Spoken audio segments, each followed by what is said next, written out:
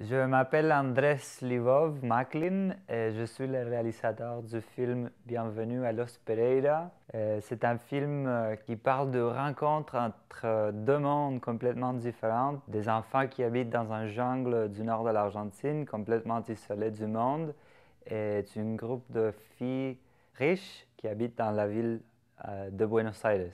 Une amie à moi travaillait dans cette école de filles et par chance, un jour, elle m'a raconté euh, l'histoire et j'ai flashé parce que c'était complètement euh, extrême. Il y a des histoires d'amour, mais elles sont très subtiles dans le film. En fait, tout est subtil dans le film. Je reste toujours euh, très objective. C'est la première fois que le film va être montré à un public ça veut dire beaucoup. Comme nouveau résident ici à Montréal, euh, c'est un de mes espoirs d'avoir une relation avec euh, le public québécois.